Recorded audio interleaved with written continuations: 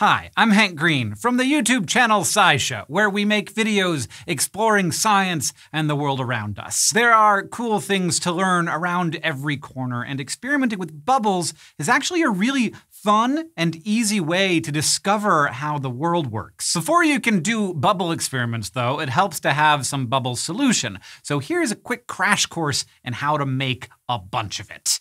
You will need water, dish soap, either corn syrup or glycerin, along with something to store your bubble solution in. I just went with this jar. If you have it on hand, distilled water, the kind without a lot of iron or other minerals in it, tends to work best for this, but any kind of water will do. To make your bubble solution, add three parts water and one part dish soap to your container. To put that differently, however much dish soap you put in, add three times as much water. I'm gonna make two cups of the bubble solution, so I'm going to add a cup and a half of water and half a cup of dish soap. Then give your mixture a good stir and let it sit for at least 24 hours. Ta-da! You have made bubble solution. If you notice that your solution is drying out too quickly or that your bubbles aren't very strong, you can add one to two spoonfuls of glycerin or corn syrup. If you make any changes to the recipe, just make sure to write them down so you don't forget what you did always an important part of science. I'm gonna just go ahead and test out my bubble solution now. Thank you for experimenting with me.